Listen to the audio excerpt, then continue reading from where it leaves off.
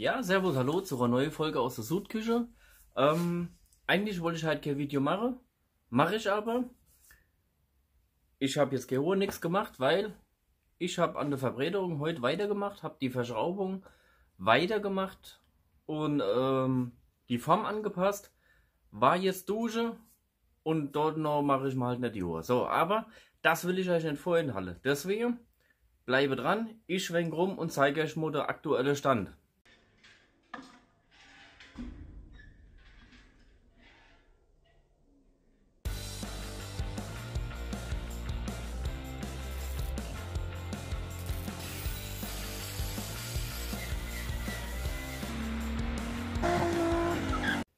So, hier mal die Beifahrerseite. Da sieht man jetzt schön ähm, die Verschraubung. Vorne, hier oben die vier Stück.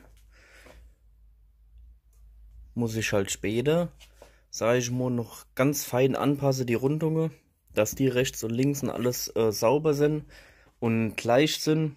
Und ich sage mal, wenn sie nicht 100% perfekt sind, ist gar nicht so schlimm, weil das ist alles handmade. Da ist kein Computer, wo das errechnet hat oder sonst irgendwas, wie es bei den Rocket Bunny Kids ist, wie man oder die man so teuer kaufen kann. Äh, jo, dann muss man aus dem Licht. Hier habe ich äh, nochmal ein bisschen schneiden, dass sich das Stück bis jetzt zusammengezogen hat, weil dort äh, die Verbreiterung äh, Luft gehabt hat. Deswegen habe ich das ingeschnitten hier die Verschraubung und hier jetzt nur provisorisch mit einer Schraube gemacht, wie am Anfang, damit es anleiht und äh, das austrocknen kann. Hier unten ist die Verschraubung schon soweit vorbereitet. Du musst jetzt nur später, wenn die Verbrederung abgemacht ist, ich weiß nicht, wie ich, wie ich das nennen soll, Verbrederung oder, ja, egal. Ähm, dann muss ich hier die Inziehmutter drin machen und äh, dann kann ich schon schrauben. Dann kommt das weg und dann wird die Kante soweit beigeschliffen, wie es auf der anderen Seite ist. Das obere Stück hier stimmt schon und dann ist hier ja, wo es schmäler wird. Also bis ungefähr kurz vor der Schraubekopf wird abgeschliffen, damit es rechts und links gleich ist. Dann habe ich mich dazu entschieden, die Seitenschwelle noch weiter zu ziehen und den Verlauf vom Kotflügel zu übernehmen. Wenn man jetzt so guckt, dass es gerade runterläuft und von der Seite läuft es dann schräg weiß nicht, wie es am Schluss aussieht, ob es mir dann doch gefällt oder nicht, aber dass es dann so abgesetzt ist, finde ich, sieht ähm, professioneller aus, oder wie, wie soll ich denn sagen? Halt nicht einfach äh, was gemacht, draufgeschraubt und fertig, sondern schön sauber gemacht. Hier ist schon, jetzt habe ich drin gegriffen, hier ist schon ein bisschen gespachtelt, dort die Kante habe ich schon angefangen Rinse ziehe und geht es dann weiter. Wenn das ausgetrocknet ist, kann ich dann hier unten rum die Kante muss, sage ich mal, bis hierher, wenn ich genau weiß, wie groß der Radlauf wird, weil der muss auch noch die Rundung genau ausgemessen werden, da sie rechts und links gleich ist. Die Verschraubungslöcher, also das, was ich da vorbereitet habe, die Schraub, die Schraub und oben rum bis vor unter die Lampe, sitze an beide Kotflügel genau exakt an der gleichen Position habe ich komplett ausgemessen und äh, nur deine Schraube tue ich mal den Radlauf äh, anzeichnen, ausmesse, wie man es nennen will, dass der rechts und links gleich ist und dann kann ich, wie gesagt, da unten rum das Stück zumachen, weil das geht dann, sage ich mal so, 5 cm oder so, weil ich das reingelassen, ich weiß es noch nicht, oder ein bisschen schräg nur hin, muss ich gucken. Das ist jetzt die Beifahrerseite und ich finde das sau stabil. Da sieht man jetzt auch die Form, wie ich gesagt habe, dass er leicht die Wölbung so hat und so. Das ist halt schwierig zu schleifen, aber das kriege ich hier. Jetzt haben wir die Fahrerseite. Hier die Fahrerseite, da habe ich jetzt keine Lampe stehe. Ist auch wieder hier vorne die Verschraubungen. Da ist halt die Kontur hier, die Kantone drin geschliffen. Geschliffen. Dann ähm, sind hier die Verschraubungen. Hier hinter die habe ich. Und dann habe ich halt hier noch die, wo runtergehe.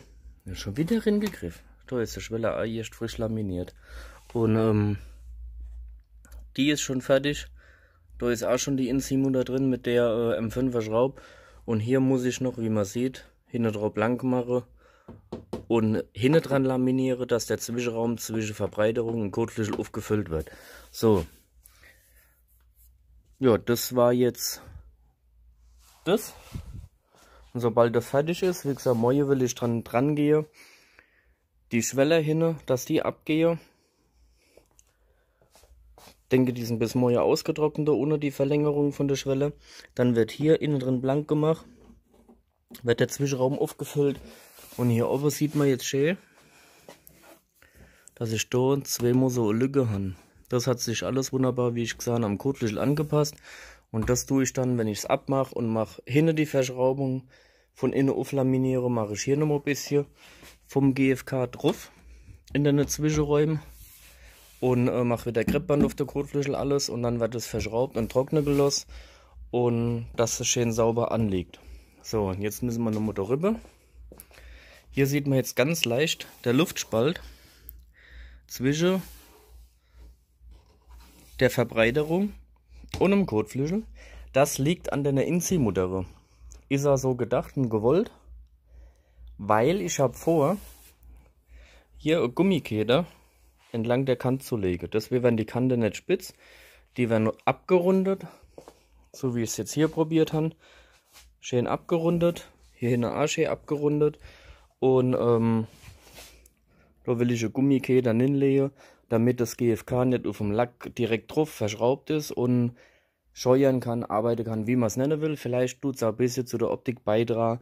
Sehe ich dann ganz am Schluss, wenn es fertig ist und äh, das lackiert ist und Kotflügel neu lackiert sind. Und ja, dann muss ja später noch hier getrennt werden. Äh, die Form vom Kotflügel hier, was noch innen läuft und ein Stück runter, die Rundung will ich beiziehen bis hinne damit es äh, auf der Eck mehr Stabilität hat, wenn das getrennt ist.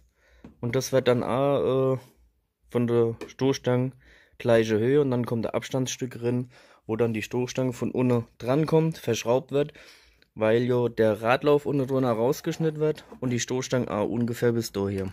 Sonst passt das hier mit dem Reifen nicht. Der schlägt dann hier, sieht man es? Mein Finger. Hier an der Stoßstange an. So. Jo, so sieht's aus, das wollte ich euch nicht vorenthalten. Ich finde, äh, weiß nicht, Tag 5 oder jetzt eine Woche, ich weiß nicht, ich muss mal gucken, ähm, wie lange ich jetzt schon da dran bin, finde ich, sieht das richtig gut aus. Aber auf dem Kotflügel die Schräge stimmt schon komplett. Mit rechts und links, da habe ich mal Schablonen gemacht von dem Kotflügel-Eck vorne. Dann habe ich die Schraube, alles von da hinten. Da sieht man es, die Kante vom Kotflügel von hier aus. Alles ausgemessen die Schrauben nach vorne, die Länge nach vorne, die Schraube und so weiter, dass das alles genau rechts und links gleich ist. Wie gesagt, das wollte ich euch in vorhin Halle. Das war es jetzt soweit vom äh, Rocket Bunny bis heute. Nicht gerade äh, direkt bisschen, weil ich jetzt die Hornet gemacht habe oder sonst irgendwas oder wie auch immer. Gibt ja Leute, die äh, findet das anstößig, mir egal. Ich habe das jetzt fertig gemacht, war jetzt durch und habe dann überlegt, das will ich euch nicht vorhin Halle. So, Deswegen kurzes Update. Wenn es euch gefallen Teile, Like, abonnieren nicht vergessen und wir sehen uns dann morgen, spätestens übermorgen im nächsten Video mit hoffentlich, ja kann man schon sagen, mit hoffentlich gespachtelt gefüllerte Radläufe vorne. Also das erste Teil vom Rocket Bunny. Bis dahin.